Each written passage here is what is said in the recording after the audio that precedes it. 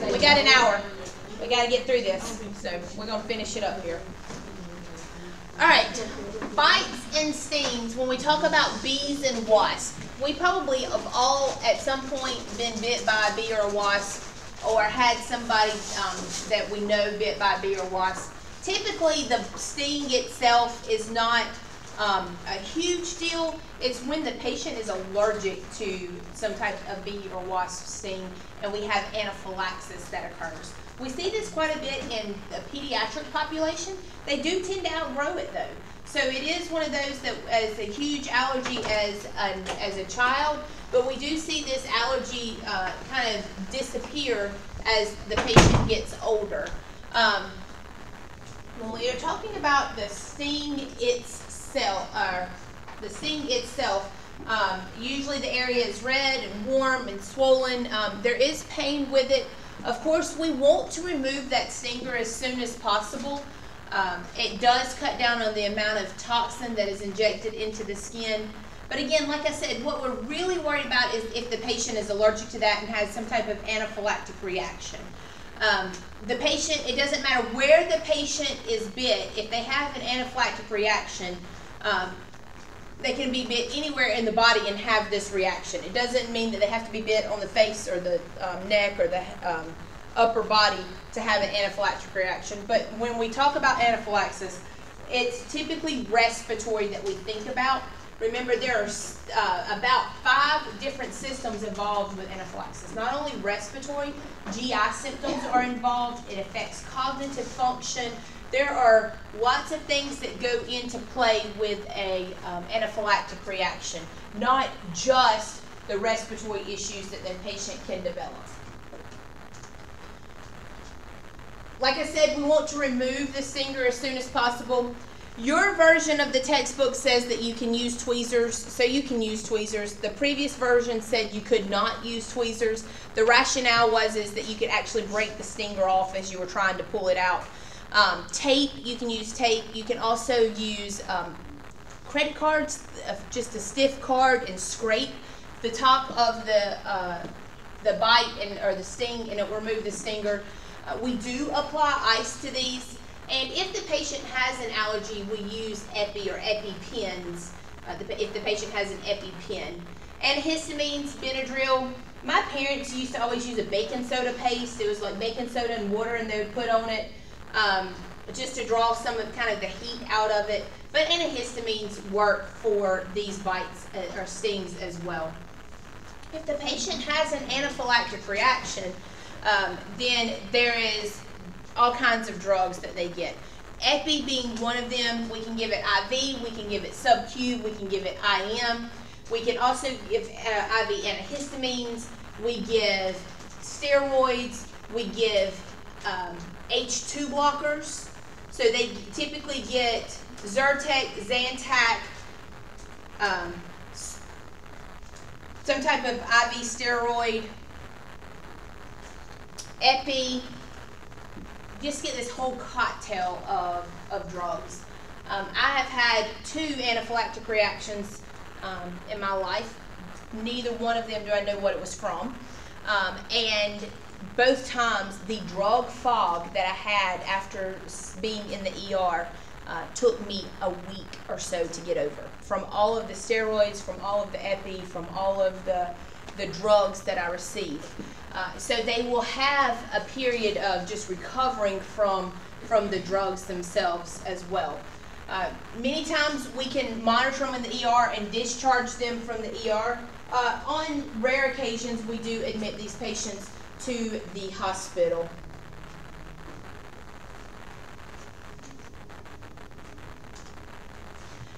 Dog bites. We're going to talk about dog and cat bites. We do see dog and cat bites in the ER as well. The big difference between those is the destruction that occurs. We tend to see children as our victims of dog and cat bites, usually boys, less than about six to eight years of age is where we see most of our dog bites. I get it. I have a 10 year old. He survived that six to eight year old range, and my dog should have tore him up more than once. Um, but she never did. Um, and so I, I, get why we see it in that in that age group. They're inquisitive. They have no boundaries. They're rough. They um, and so they just are in that animal's space and won't leave them alone. So we do see bites in that age group. Um, infection is the biggest thing we worry about with both cat and dog bites. With dog bites, we typically see very mechanical destruction. It's usually a bite and a tearing type motion. So we see mechanical destruction of the of the tissue. Many times it's um, it's not we're not able to put it back together. It's very jagged. There's rough edges. Um, there's an avulsion of that tissue, and it just doesn't go back together nicely. Cat bites tend to be puncture wounds. Usually around the hands is where we see cat bites, um, but they're usually very neat and clean puncture wounds. The problem is, is they typically are around joints, and we have to worry about infection of those joints with, with cats. This is one of the reasons that we see dog bites. Uh, as much as we would like to call them our children and the, our kids and the second part of our family, and they're still animals. They are still pack animals. They still um, innately um, will hunt, and they are very possessive over food. That is just part of their DNA. And so we see a lot of bites around food. Sometimes it's intentional, sometimes it's unintentional. They get excited, they're ready to eat something, and your hand's in the way, or they're trying to protect their food and there's a child playing in their food bowl. Um, so we do see bites around food as well. Um, as bad as that little face looks, it's really probably more of a warning than a real bite. That was a stay out of my way. You're in that that tissue is still intact, is what I'm telling you. Um, we I had a we had a child mauled by a dog several years ago. Um, family brought home two new dogs. Didn't know anything about them. Uh, they were in the backyard. They had them separated, fenced in. The toddler got out of the house to go play with the new dogs, and they almost ate him alive. Like parts of his thigh and his butt and his biceps and part of his face. He had muscle groups missing um, from from the from the mauling of these these two dogs. Um, so when in comparison, yes, that looks rough on that little face, but that tissue is still intact. That will heal nicely. That can be cleaned and sutured, and you probably would never even see that once it was healed up. Uh, like I mentioned, cat bites or puncture wounds. Again, around joints, we typically see, and we have to worry about infection with those. We have to worry about those septic joints. We do see dog bites in the upper extremities and in the face area. Um, and again, infection is a big concern with those as well. They do have to be reported to the state, and just because a dog bites doesn't mean that the dog is euthanized. Um, first time a dog bites and they can't, the owner can't show proof of rabies vaccination. The dog is put in 10 days of quarantine. And so for 10 days, they watch them and see if they um, ex exhibit signs of rabies. If they don't, they'll vaccinate the dog and give the dog back to the owner. It's the, repet uh, the uh, repetitive bites that you'll see euthanasia, uh, euthanasia occur, or if the dog starts showing symptoms of um, rabies. Rabies shots which is interesting. Rabies vaccinations for animals are recommended yearly, but they're actually good for about five years.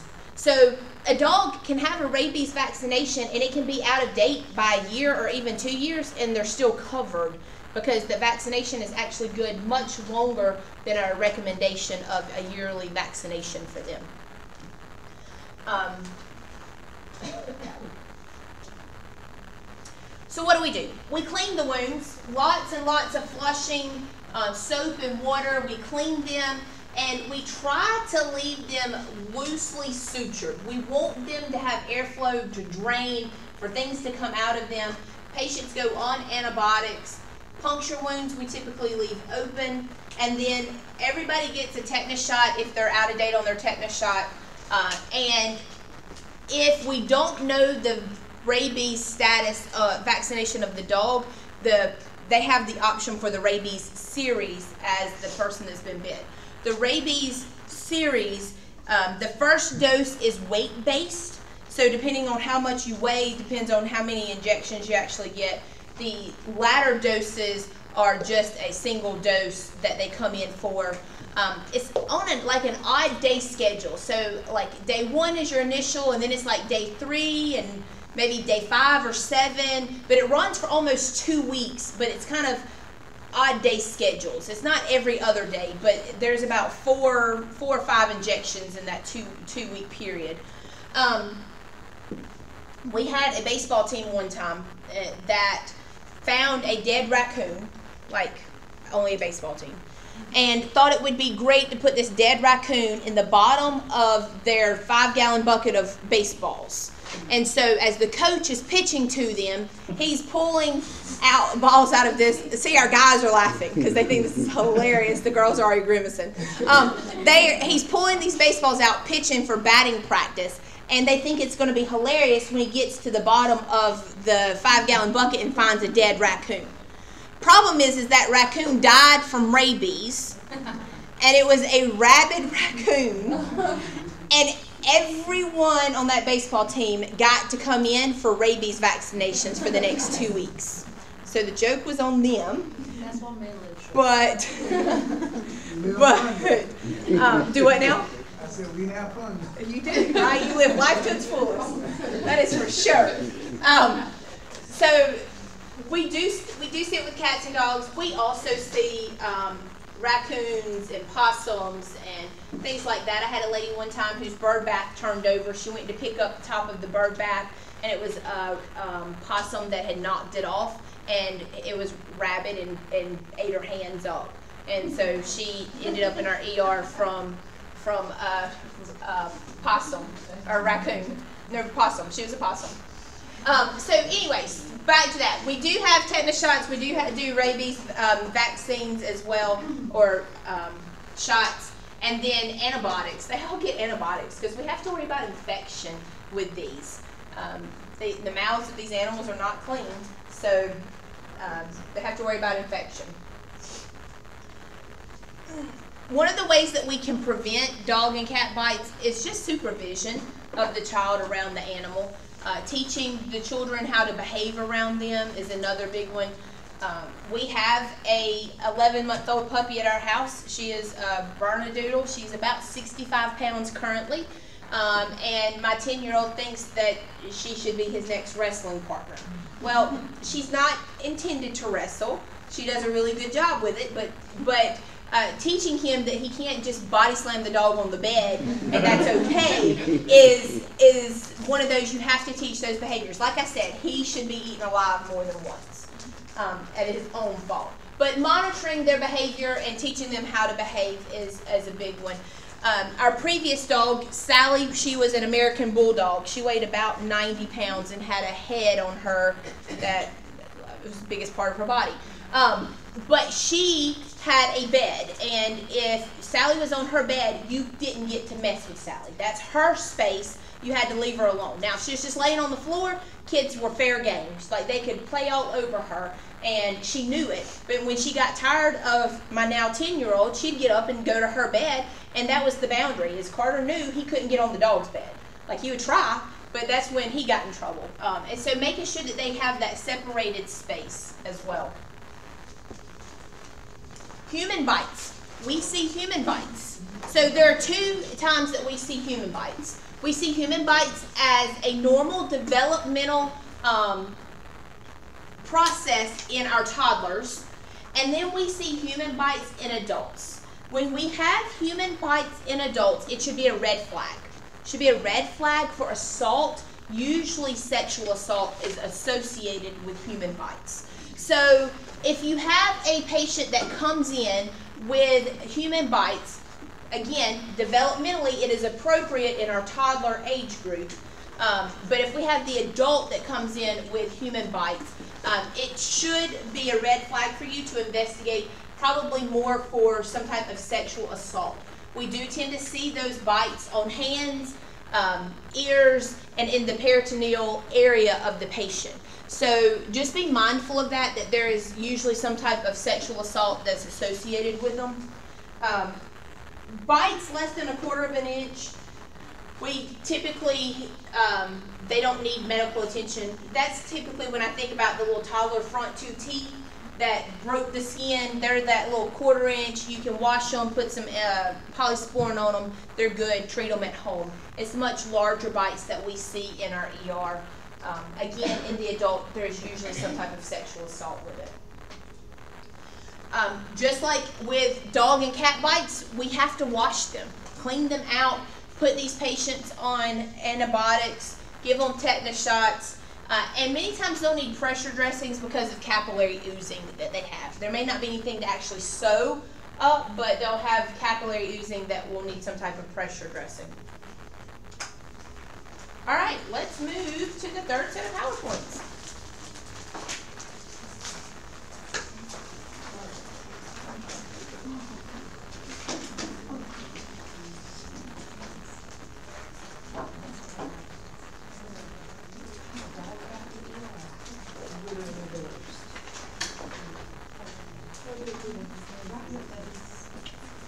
Again, substance we don't cover.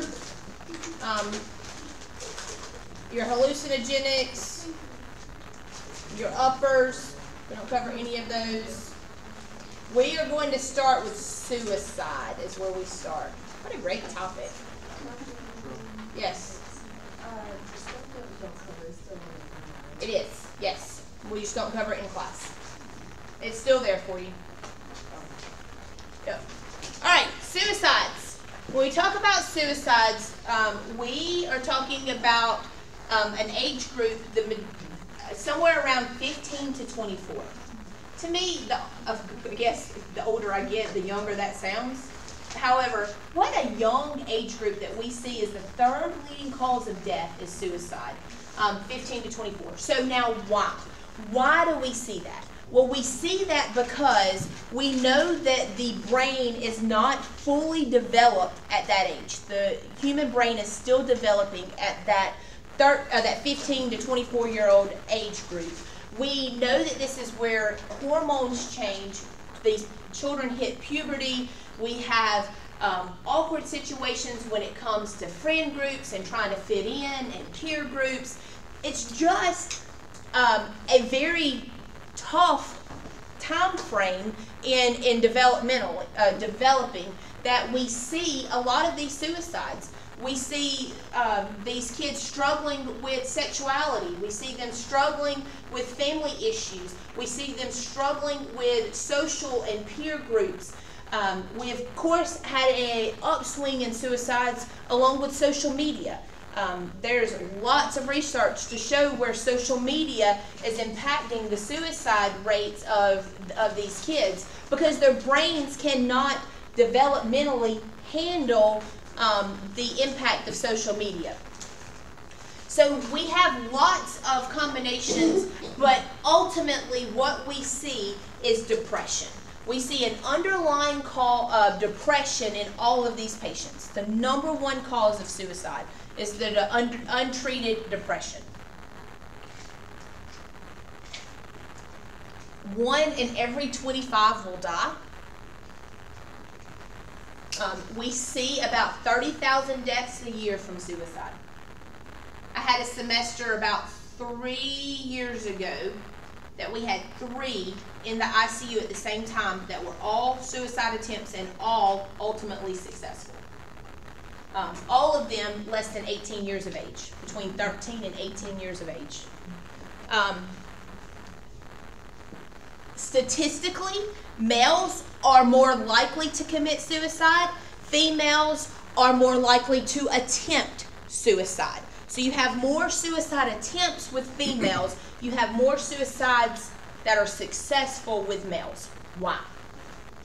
Females not serious. They ain't serious enough. not that they're not serious. There's a big difference.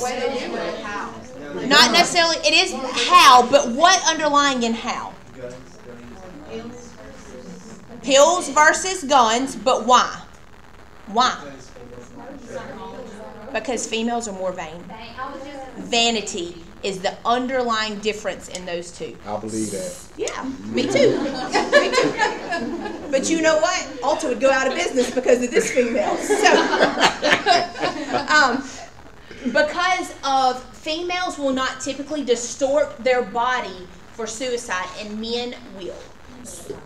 Do it now. Ain't nobody got time. for Um, men will use guns. They'll be the ones that come in as gunshots, typically under the chin or in the mouth.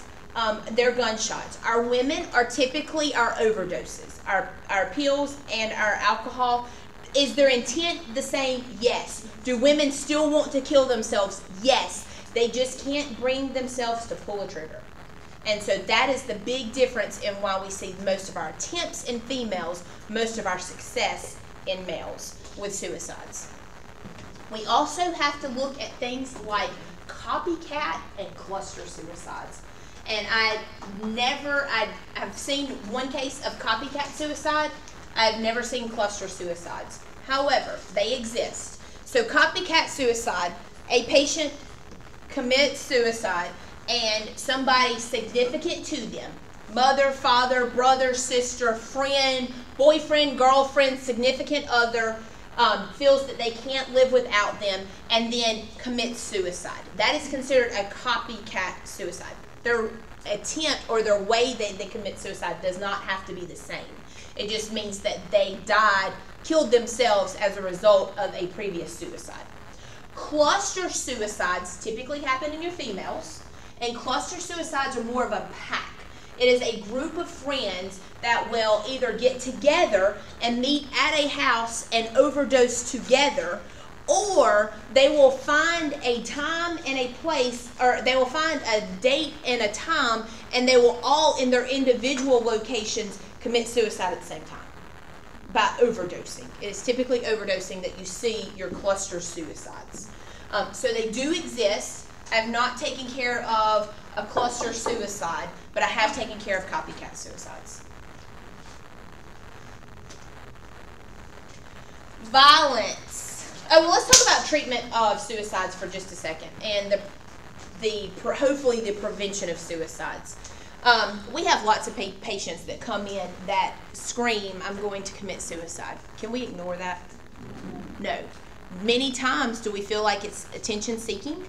It could be, absolutely. But the minute that we ignore it, it is truly somebody reaching out for help and and they do commit suicide. So as healthcare providers, if the words come out of their mouth that I'm going to commit suicide, you have to investigate it. You may do things like asking, do you have a plan? Do you have a time? What is your intention? Are you just wanting to ease pain or are you really wanting to die? Because some people are just wanting to get out of the situation that they're in. They don't really want to die, they just really want to change the environment. They want to leave the, the circumstances that they're in. Um, and so you have to do some more investigation. We have to put them on suicide precautions. We have to make sure that they're safe. That is priority for the patients. But we also have to treat the underlying issue, and many times it's depression. Um, we'll see it sometimes with drug abuse. We'll see it um, so with some mental health issues, um, schizophrenia, some of those, paranoia, some of those. But we really see the depression. So treating that underlying depression in the patient. Violence. Um, domestic violence specifically, when we talk about domestic violence, um, we are basically talking about violence that occurs out of some type of fear or anger is typically the emotion that the violence occurs out of. Um, I try to keep this gender neutral because we do have men that are the victims of domestic violence. If you ask my husband, he'd tell you he's a victim of domestic violence. Just don't listen to me. Um, but we do have men that are victims of domestic violence. By far, the majority of our victims of domestic violence are women. However, we do uh, we do have men that are victims of domestic violence. And so there's several things that we see with um, domestic violence. We can see it in lots of places. Um, violence in general. Your ER is one of the highest areas of workplace violence there is.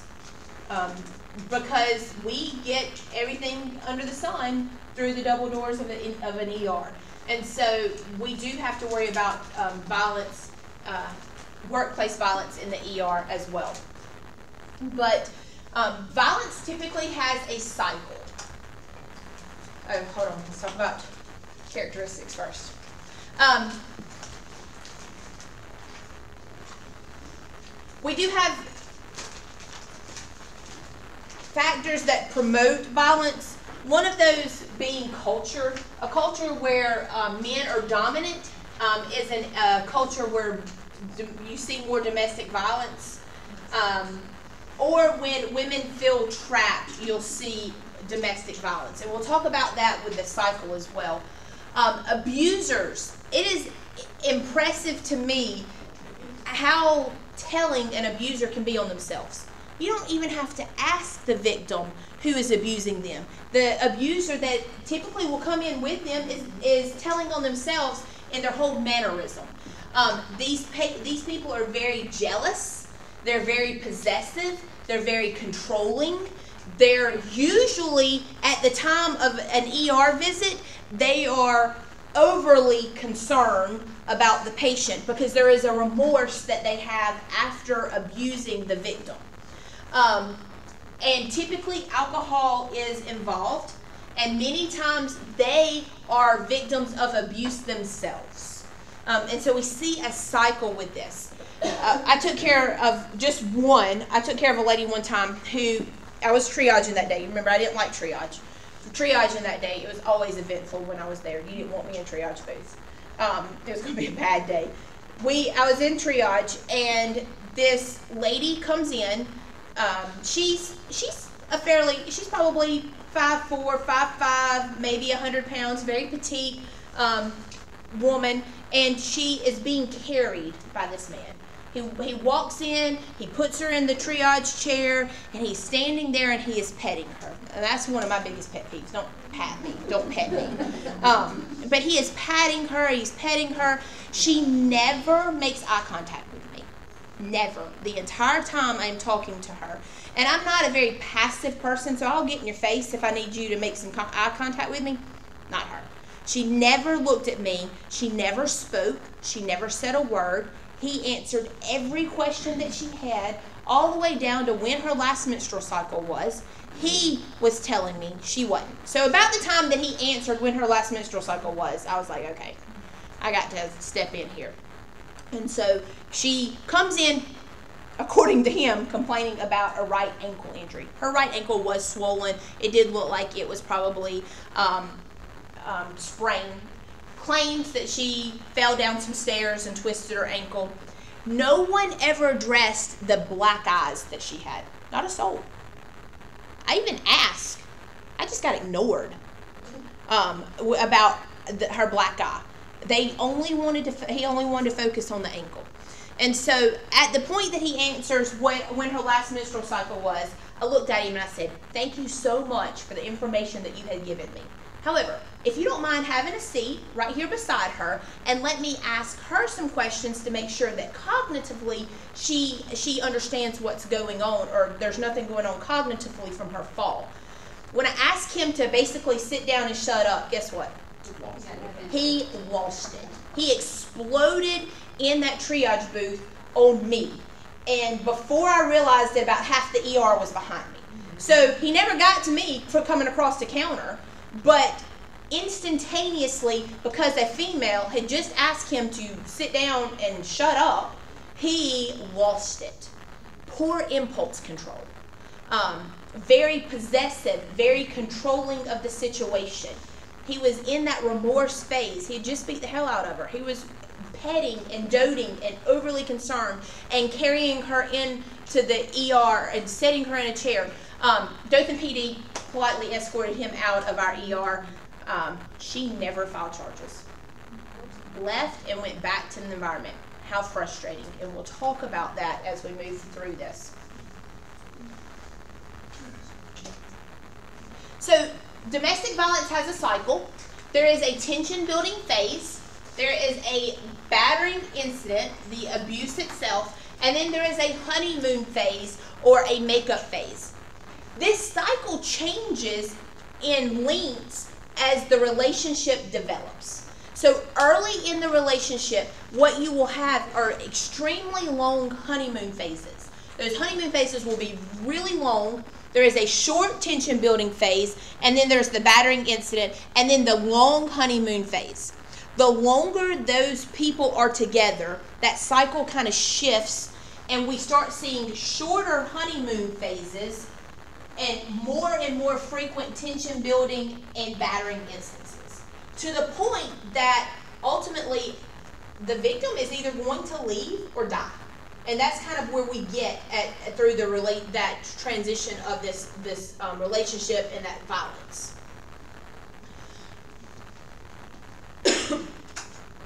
so we have to, by law, screen everyone that comes in for domestic violence.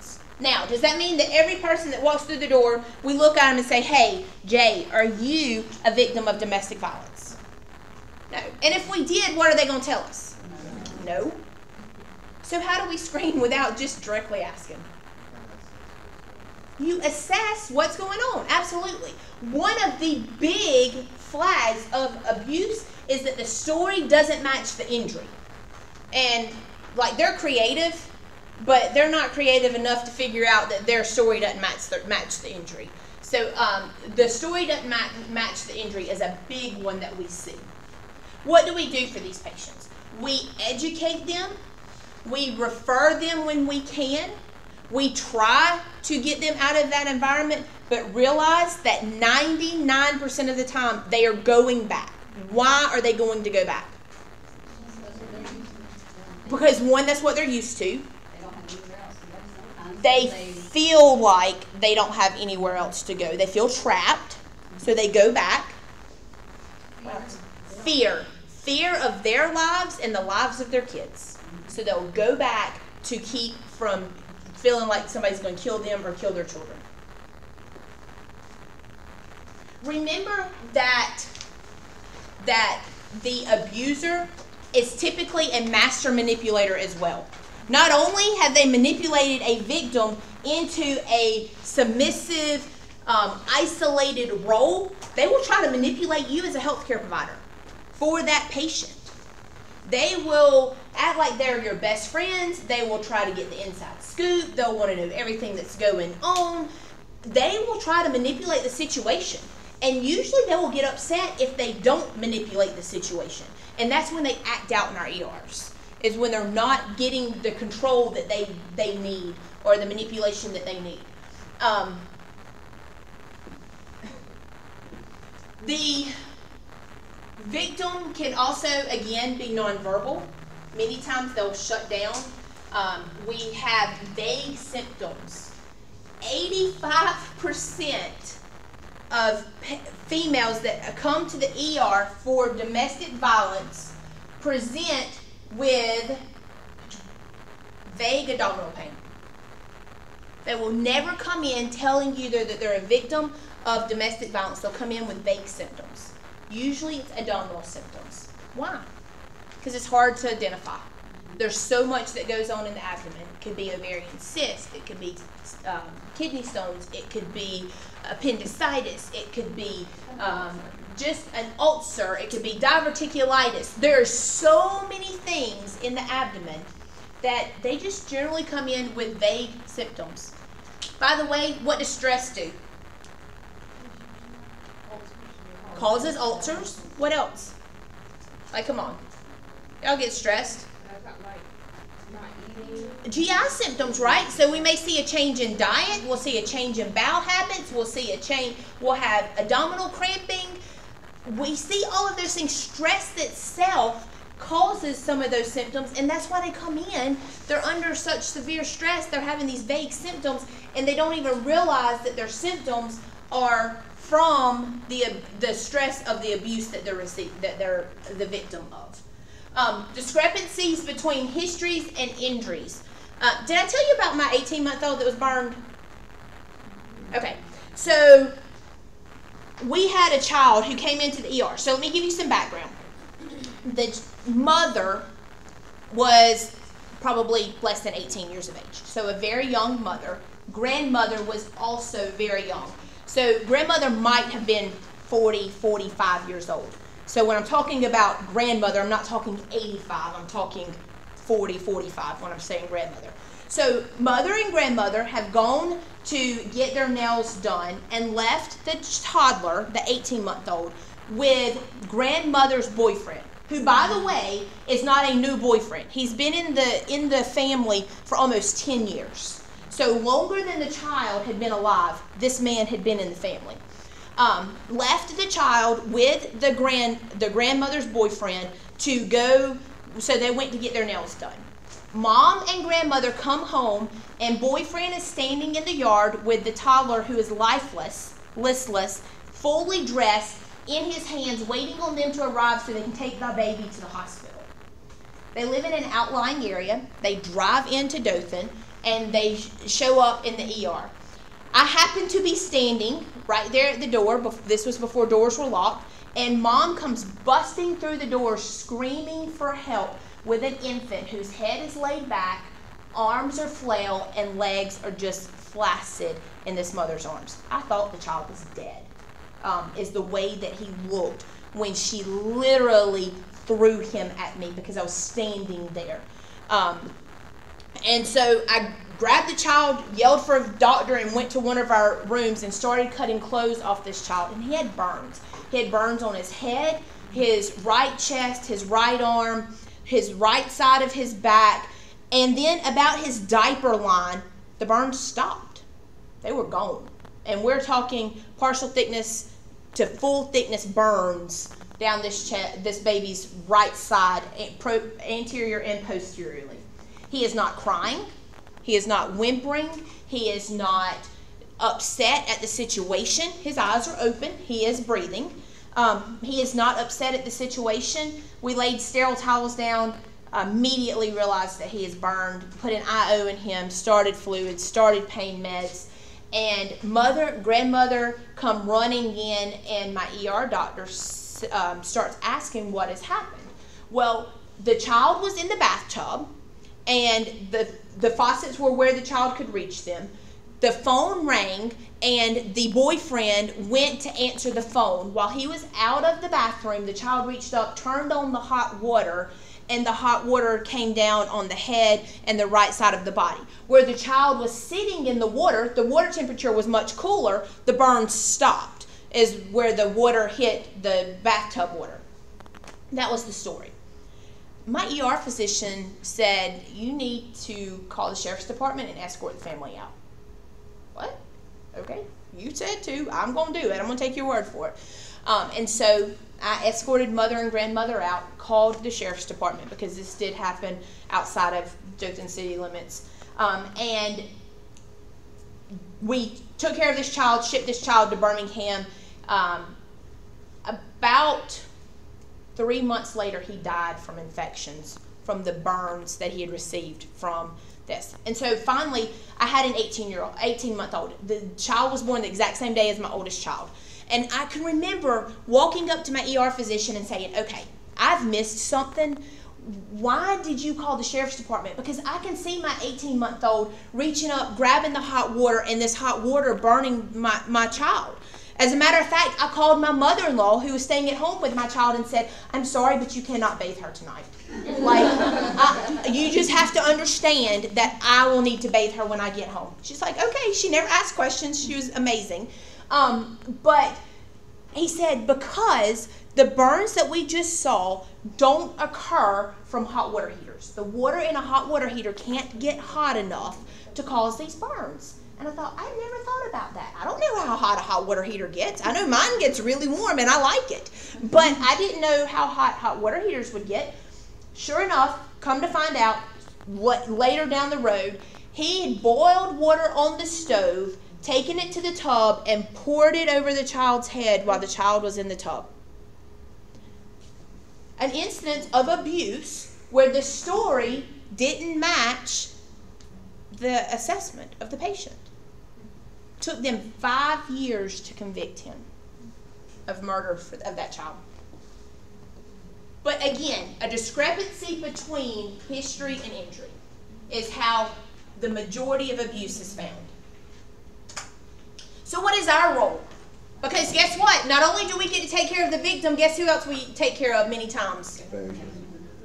The abuser. We'll take care of abusers as well. And so, taking care of the victim. How hard is it? And it's probably much harder for myself than some for some people, but most people that work in an ER are very type A personalities. You just don't come to an ER as a very soft spoken individual and survive. Like you can get eaten alive in an ER. You have to have a little bit of backbone to you to survive an ER. And so for me, it was really hard, and I really had to check myself many times and go, okay, I'm taking care of a victim and they won't press charges and they're leaving and going back to the same situation. You know what I wanted to do? I wanted to shake them and go, wake the hell up. He's going to beat you again. That's what I wanted to do. Can I do that? No. Can I judge her for going back? No. And it took me a long time to realize that that was probably the safest thing for her to do. What? Go back is the safest thing? Absolutely. That's right. Because it's the honeymoon phase next. So that honeymoon phase is good for a while. Now, the smart thing is during that honeymoon phase, figure out how to get out, but to go back. Because if you don't go, then there is the instant they're going to hunt you down. They're going to make life miserable. They're going to try to kill you. They're going to try to kill your children. Those fears that they have about leaving are there. And so it took me a long time to realize that it really is okay for them to go back. It may actually be the safest thing for them and their children to go back to that environment. Now, what do we need to do?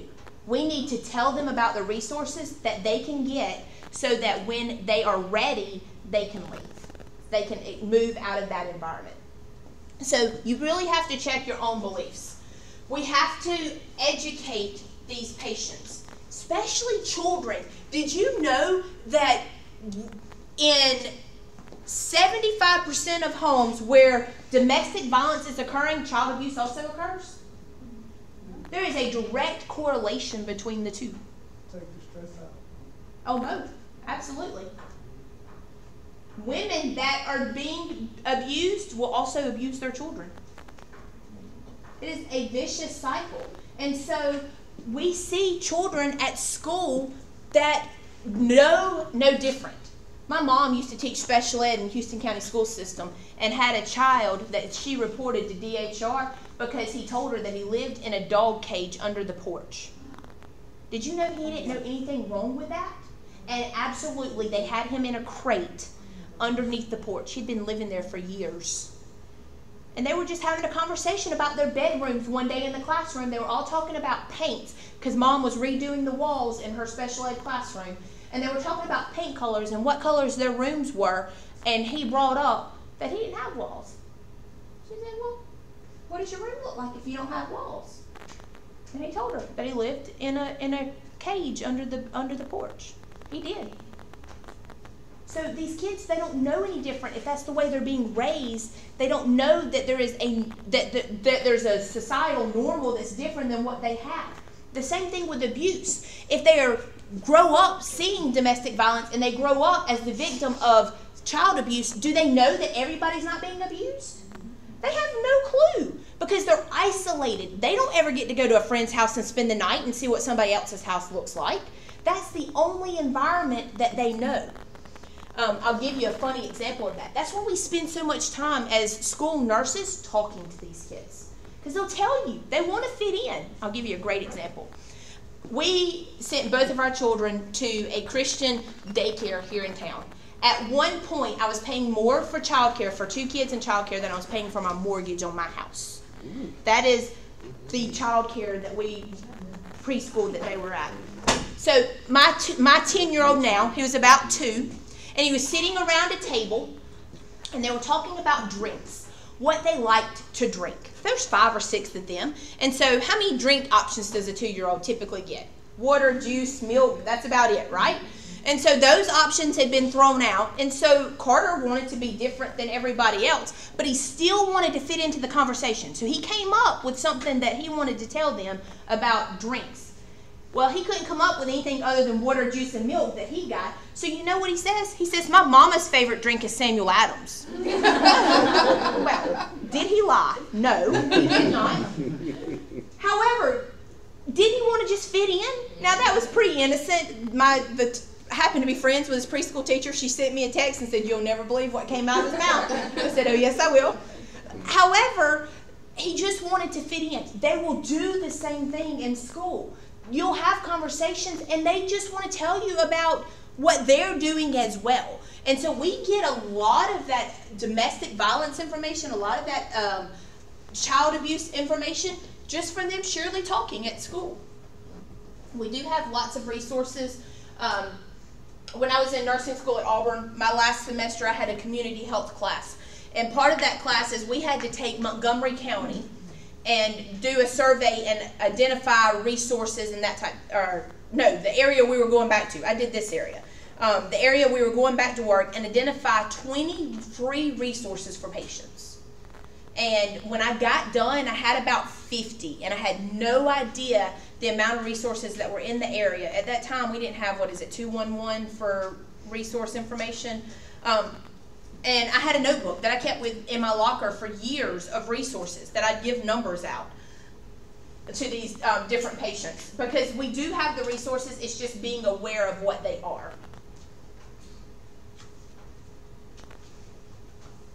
Um, disasters. We see disasters. We take care of victims of disasters in the ER as well. So when we talk about a disaster, we're talking about anything that exceeds our resources. It doesn't matter what it is. We have just hit had a disaster. What was it? COVID. It was a pandemic that exceeded our worldly resources.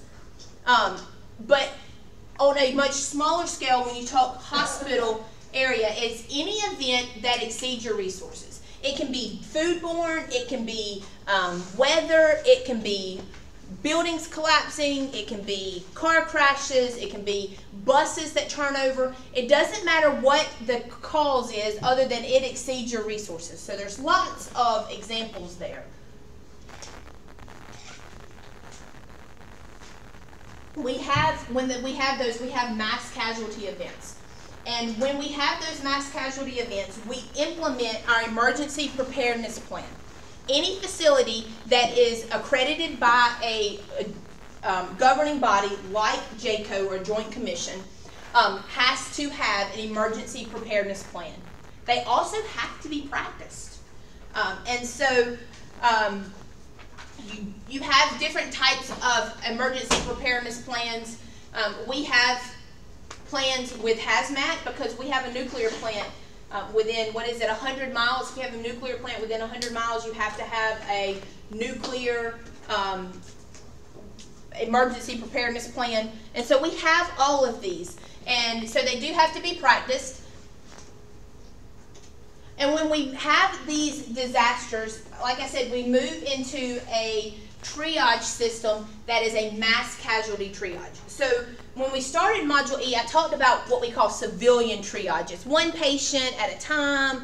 It's um, not, not overwhelming the system. This is when we have a large number of patients. This is more of a um, military type triage system, but it's mass casualty is what it is. And the focus of mass casualty is the greatest good for the greatest number. Because we have a finite number of resources, we have to do the greatest good for the greatest number. That means that we have patients that we won't treat. Patients that have black tags that are dead or expected to die, we will leave and not treat. For example, Remember me telling you about my 14 year old dirt bike that had the leg and was bleeding out and hemorrhaging? That patient, had it been a mass casualty event, we would have never treated. Why? Because we dump so many resources into one patient, and we can when it's an isolated event. But if we had 30 of those patients, could we dump the same number of resources into 30 patients? We can't. Um, and so those patients we would be one of those that we would anticipate or expected to die because they're a hypovolemic situation. And so we would not treat them. Why? Because we would turn around and we'd take those resources that we would give to that one patient, and now we'll disperse them over about 50 patients. And so now we're treating 50 versus one. Um, so it's the mass, it's the greatest good for the greatest number. You have different colors of tags. Of course, green are your minors all the way up to your blacks that we are dead or expected to die. Green injuries typically um, are treated on scene. So are your yellows many times. They set up treatment booths or treatment tents at the scene. Your reds tend to be the ones that you see in your hospitals, but they don't all come through the ER. So once you activate your disaster plan, your roles change and your hospital setup changes. Right now, on a daily basis, if we have some type of, of single mass casualty or single event, the patient comes through the ER. But if you have a hundred victims, you can't send them all through the ER. What changes is your entry points into your facilities. So what you might have been using as outpatient surgery now may be a second ER for you. You may now have patients that are coming in off the ambulance and going straight to the OR or straight to the cath lab. Um, you may now have patients that are coming in that essentially you're using other areas of the hospital for, not just your ER. So your the roles in the hospital will change along with um, some of the um, authority of the facility.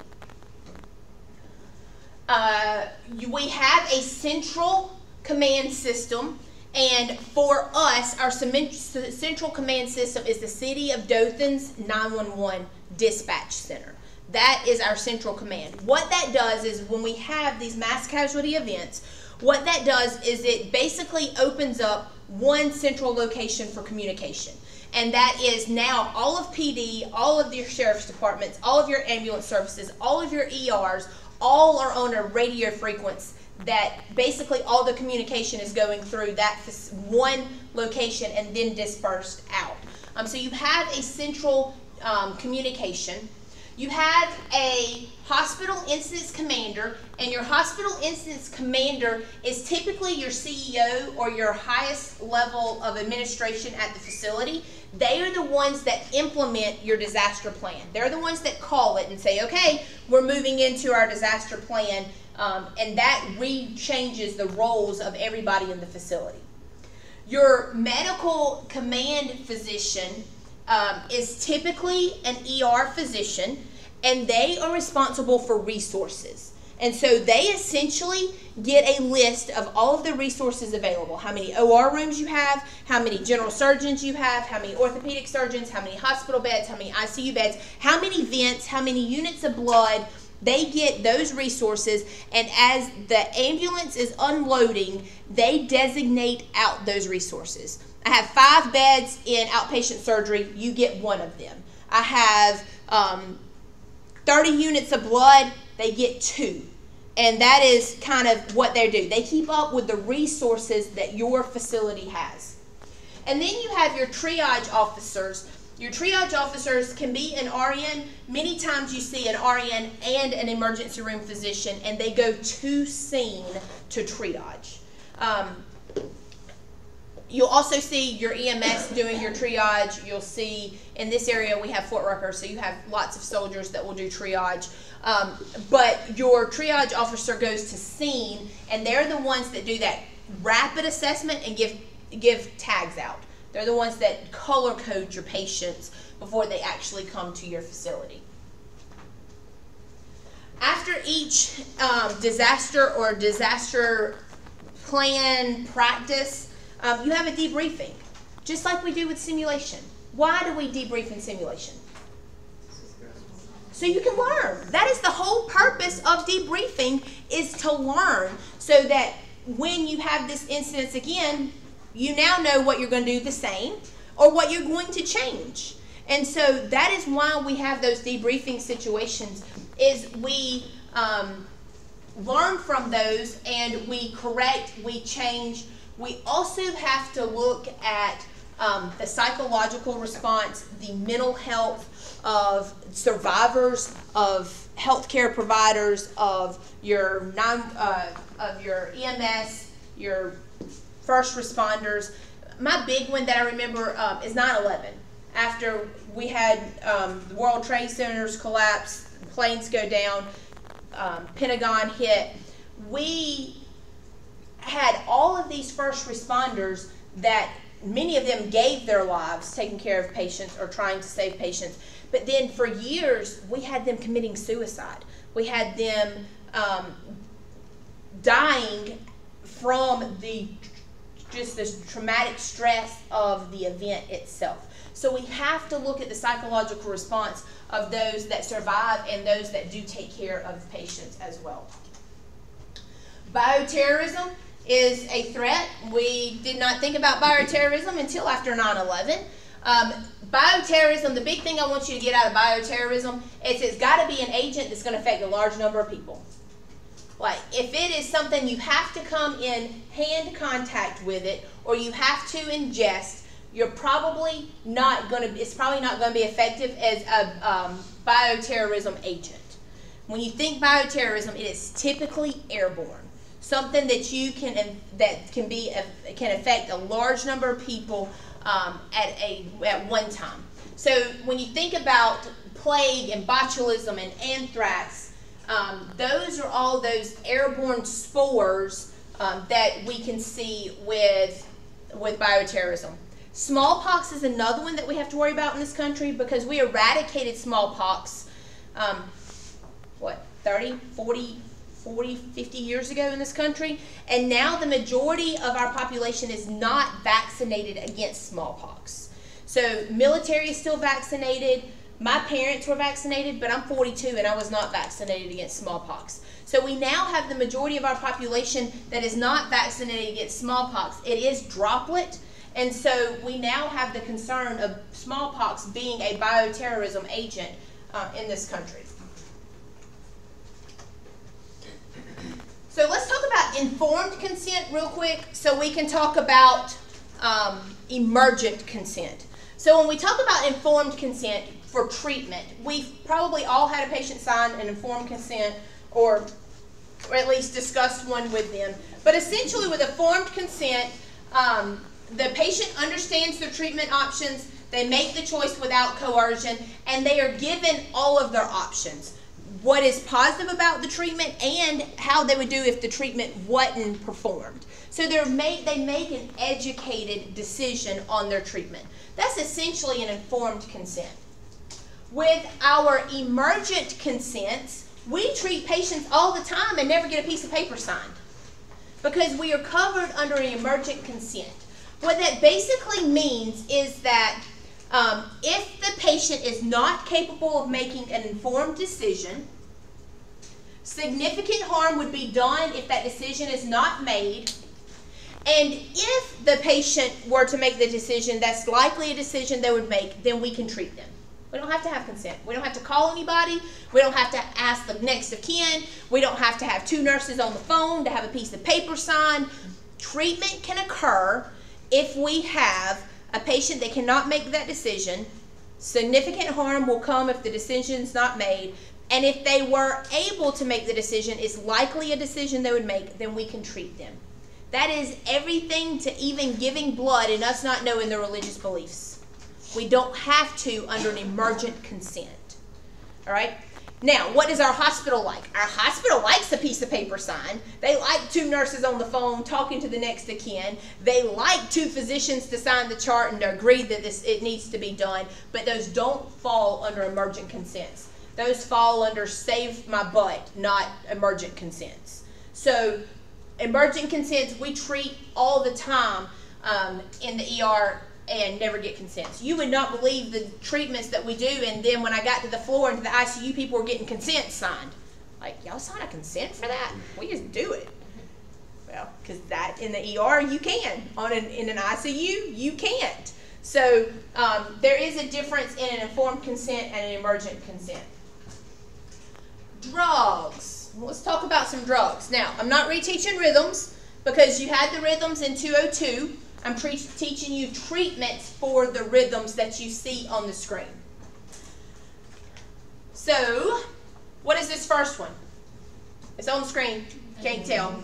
It's SVT. It's on there. Supraventricular tachycardia is what it is. That's what that rhythm is. Um, now, is it regular? Yes. Is there a P wave? There is. You just can't see it because it's so fast. But we treat it with adenosine. Adenosine is given IV. Um, it can be given in the adult patient and in pediatric patients. We gave it in simulation, right? Everybody saw SVT on a monitor, whether you knew it or not. Um, you saw it. And SVT uh, and adenosine for the adult, first dose is six milligrams, second dose is 12 milligrams, and if you need a third dose in the adult patient, it's it's 12 milligrams. Pediatric patients can only receive two doses, and if the patient doesn't convert with those, we then cardiovert the patient. So there are several ways that you can give adenosine, and we're going to talk about some of these real quick because some are more effective than others. So there are many times that you find a patient has a bifurcated port, kind of like this. Um, you put adenosine in one port, you put your syringe in another. It has to be a rapid um, IV push followed by a flush, by the way. And when I say rapid, it is as fast as you can push them, you give adenosine. So we draw up our adenosine, we draw up our, our flush, and we put adenosine to one, our flush to the other, and we give our adenosine and our flush, and the patient doesn't convert. Why? Do what now? With this setup, why would the patient not convert? Because it's already done by the time it gets to. Well, we're going to hope we have enough flush to push it on through the line because that's just the extension. But it's not.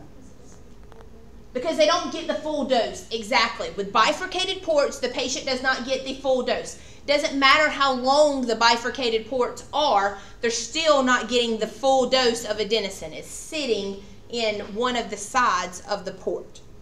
So if you're using a bifurcated port, your first dose may not work because you just only gave a partial dose instead of a full dose. And by the way, is that technically a medication error? Yes, it is. All right. So what if we just have a single port and we give our medicine, take it off, put our flush on, and push our flush, and it doesn't work? Why? It wasn't pushed in fast enough. Remember, the half life of adenosine is about five seconds. So it may have taken longer than five seconds for you to push in your adenosine, unscrew one syringe, put the other syringe on, and push in your flush. Wasn't effective. All right? So put fluids on the patient. Now, this is Vivitrol. This is obviously Miss Fuller's, but we're going to borrow it. We put the patient on fluids. We're going to clamp our other port, by the way, so we just don't need it. And we have fluids running wide open. And we give, this is our closest port to the patient. And by the way, for adenosine, that is way too far from your patient for your closest port. You need something much closer than that. But you put your adenosine on it, you've got your fluids running, you're squeezing your bag, you push your adenosine, and you've got fluids running wide open. Did they get the entire dose of adenosine? Yeah, they did. Well, you're squeezing your bag, it's running wide open. They did get their full dose of adenosine. Did they get it with a rapid flush behind it? Yes. Is it likely to work? As long as it didn't take it longer than five seconds to get from here to the patient because of the distance. You may also see people use needles in a needleless system. They'll take two blunt tips, poke them into there, and typically what this one doesn't have an extra cap on it.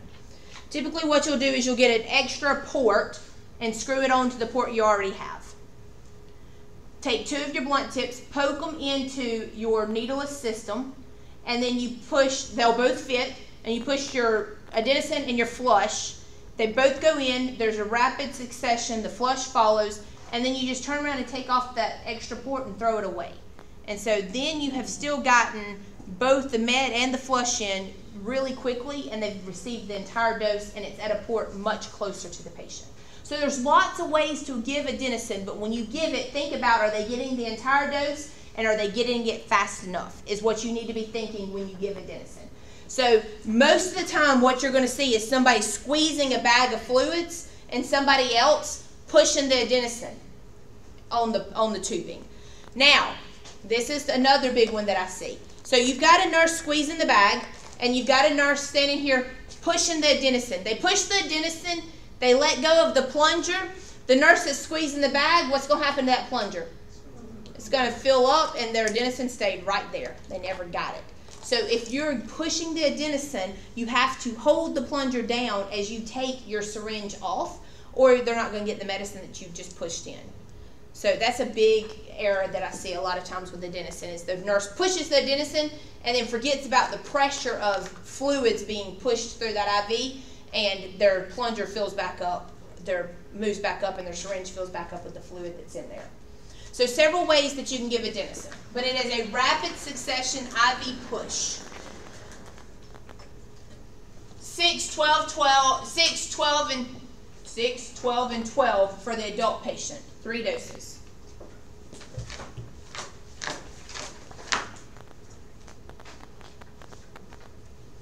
Prior to adenosine, we do want to try something like a Valsalva maneuver, a some type of vagal maneuver for the patient.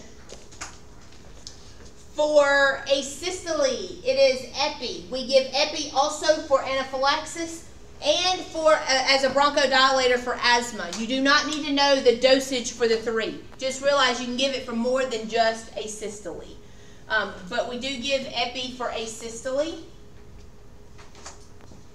For symptomatic bradycardia, we give atropine. Remember, with symptomatic bradycardia, just because their heart rate's 40 doesn't mean they're symptomatic. They have to be symptomatic bradycardia for atropine. It is given IV. Um, there is a max dose on atropine.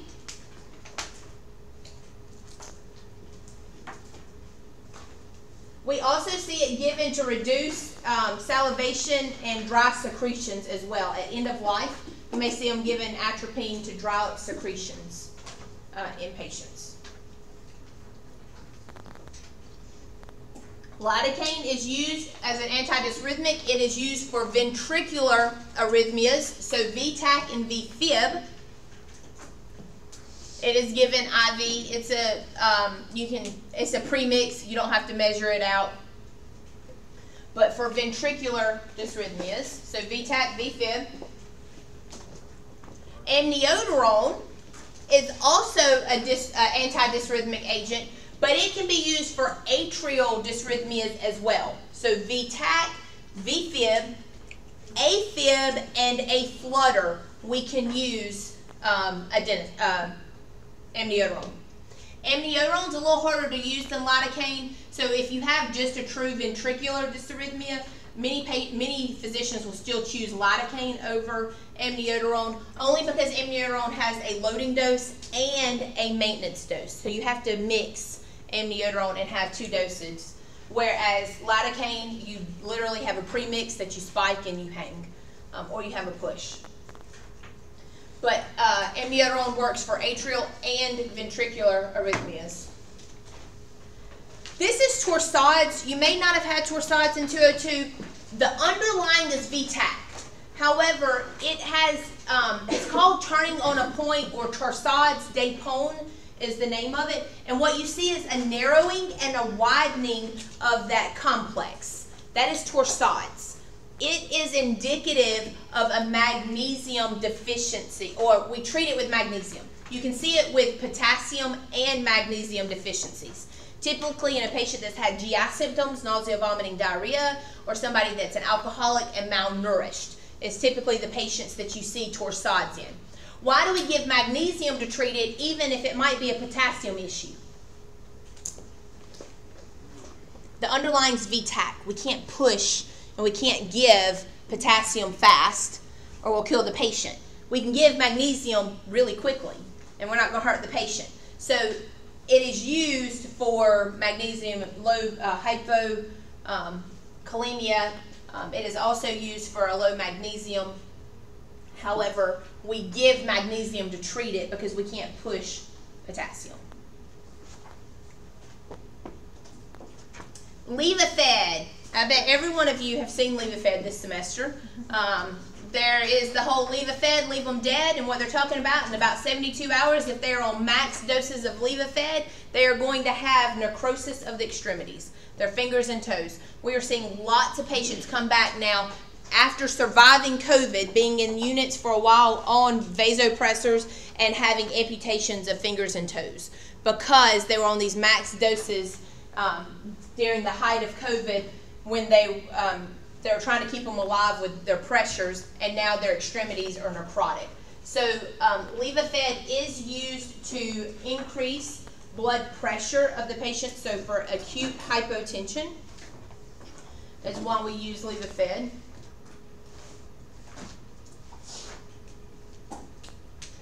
Levophed does increase heart rate, so you have to be mindful of that when you give it. Not only does it increase um, blood pressure, increases heart rate. Hold on, Dr. DeBose was calling me. Um, is another one that we use. It's also used for hy- hypotension.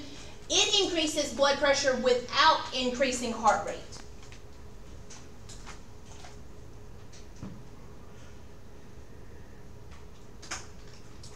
We talked about Narcan. We use it for narcotic overdoses. Um, Narcan, there's a push, like we're seeing Narcan nasal sprays, there's a push to put Narcan over the counter because of the opioid crisis in this country.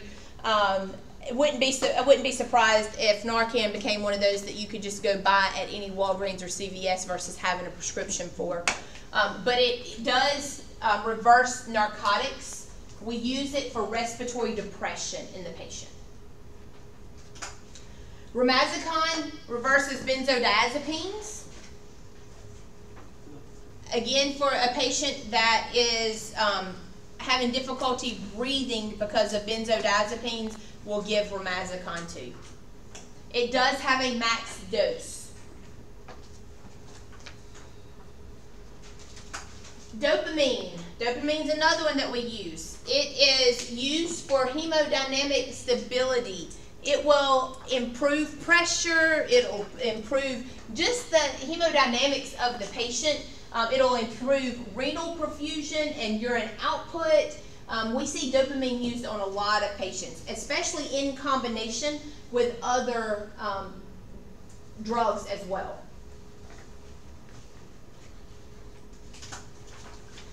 Nipride is used for hypertensive crises. So a patient that's blood pressure is high, we will use Nipride. Nipride does have to be covered. It is light sensitive, so make sure when you give Nipride that you have it in a covered bag or a, a green, a light bag. A green bag usually is what they have them in, green or black. But um, it is light sensitive. Again, it is IV, but it is for the hypertensive crisis.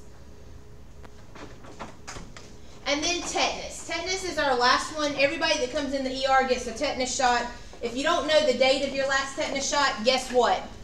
Write write it down because you're getting one that day. It's part of routine vaccinations, but we also um, need boosters as an adult. All right, that is module E. That was it. I was. I mean, that got done three minutes ago, right? Four minutes ago. They're waiting on me to shut up. Okay, Rhythms on the test. so Do it now. Will there be rhythms on the test? There will be treatment modalities for rhythms on the test because that is covered here. Yes.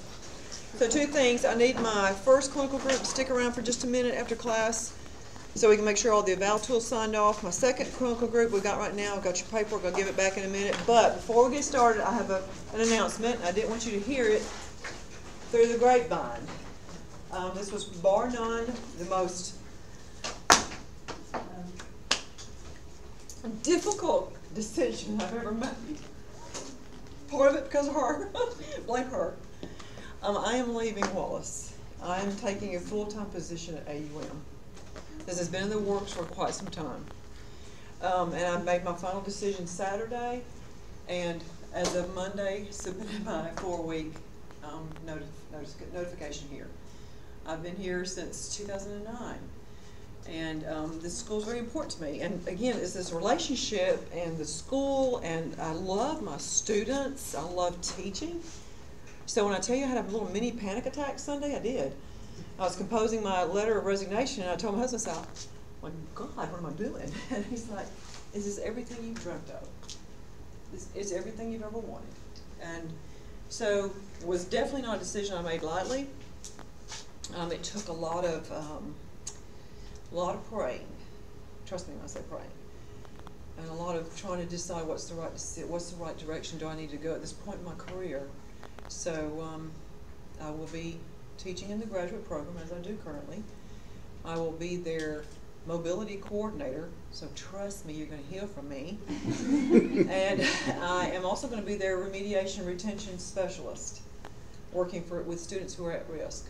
So I'm super excited about it. Um, it is, a- it's an, it's a great opportunity. And it's a school where I earned my bachelor's degree, and through a joint program, my master's, and so, you know, I've got some, it feels like home too. But I wanna tell you guys this, um, you're. Make us cry. I've cried enough for all of us, I promise. I'm You're- already crying one time this week. You're part of the reason this was so hard, okay? Because I love my students. I know. Listen, I'm gonna I'm gonna demand excellence, and I will make no compromises for that, or no apologies for that, because I don't want you to be a good nurse. I want you to be an excellent nurse. I want you to be the nurse that everybody wants to work with. I want you to be the nurse that when that family walks away, they feel cared for. That somebody really, they, they weren't just doing a job. There's a big difference, a huge difference between a nurse that's just here because it's good money, lateral movement, but a nurse that demonstrates that they truly, this individual person is important to me and I want the very best, that the possible care I can deliver, regardless of their background, their lifestyle, their belief system, whatever it may be, I'm gonna be that nurse that this person needs me to be. And I want you to be that person, and that's why I'm, I will not compromise for anything less than excellence. And I'll demand that out of you, and I'll continue to hope that you will want that out of yourself, okay? So obviously, obviously I'll finish up this term, because in a professional setting, you have to give a four-week notice. And when you're in an education setting, you have to complete a term before you go anywhere else, so. Um, they will want me to start their term at AUM, I told them under no circumstances am I gonna do that, because I will always fulfill my obligations elsewhere, they're like, okay. So I will be starting there when this term is over.